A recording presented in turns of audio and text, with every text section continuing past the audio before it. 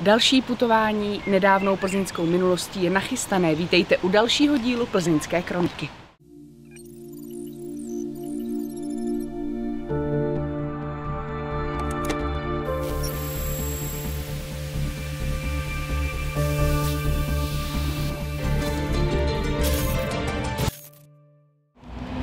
Víte, že po nové dlažbě na plzeňském náměstí chodíme už 12 let? Pojďte se podívat, jak vypadaly opravy. Nikomu, kdo prochází plzeňským náměstím republiky, nemůže uniknout skutečnost, že zde probíhá rozsáhlá rekonstrukce dlažby na celé ploše náměstí. Přesněji řečeno, úsek, na kterém byla nová dlažba položena v rámci první etapy rekonstrukce, je již schůdný a do konce května zde bude dokončena výměna průsečíku rastru a spárování deskoviny. V plném proudu jsou momentálně práce na úseku druhé etapy rekonstrukce. Podle všeho od ledna roku 2008 se už budeme moci procházet po nové dlažbě na celé ploše náměstí. Pokud nebude dokončení oddáleno kvůli archeologickému průzkumu, který je při pracech tohoto typu nezbytný. To je taková jedna neznámá, protože i v té jižní části náměstí tak nám vlastně ty archeologické vrstvy, takže nám stoupají směrem k povrchu a doufám, že to dopadne dobře a nedojde k nějakému prodloužení. Věřme, že plzeňské náměstí republiky se tedy už v příštím roce zaskví v celé své kráse a dodejme, že celkové náklady na jeho rekonstrukci přijdou na 150 milionů korun.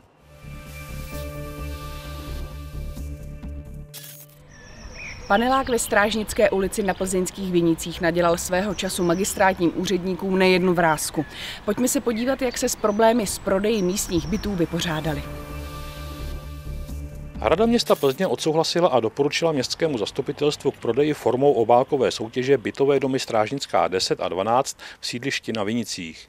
V nájemních bytech zde bydlí většinou romské rodiny. Při plánovaném prodeji se bytový odbor magistrátu držel obvyklého postupu.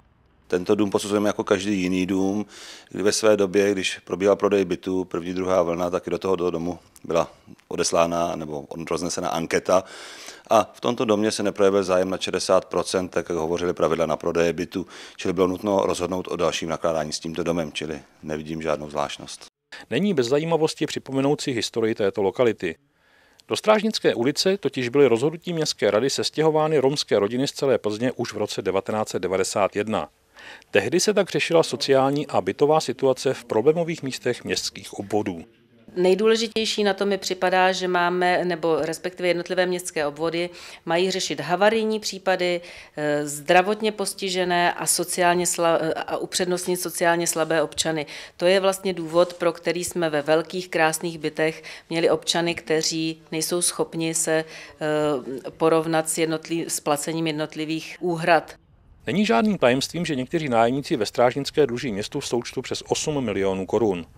Dluhy na nájemné vznikaly před několika lety, hlavně kvůli odchodu některých rodin do Anglie a nelegálním nastěhováním jiných rodin do uvolněných bytů.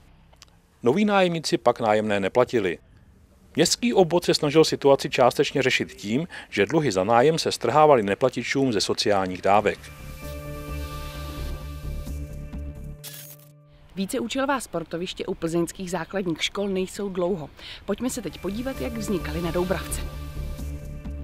Některé plzeňské základní školy získaly prostředky na přestavbu či stavbu víceúčelových sportovišť. Zastupitelstvo města Plzně schválilo granty, které budou znamenat tolik potřebné prostředky na nová hřiště. V letošním roce se rozděluje 11 milionů korun. Jaké školy tyto prostředky získají? Jsou to celkem čtyři školy v Plzni, dvě jsou na Slovanech, dvě na Doubravce, jedna škola získala na projektovou dokumentaci a na třech školách se budou opravdu stavět hřiště. Půjde o víceúčelová hřiště s umělým povrchem, která poslouží jak pro výuku tělocviku, tak i malou kopanou, volejbal a další sporty.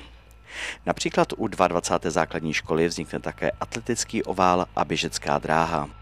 Každá škola získala podle žádosti a vyčerpat je musí právě a jenom v letošním roce.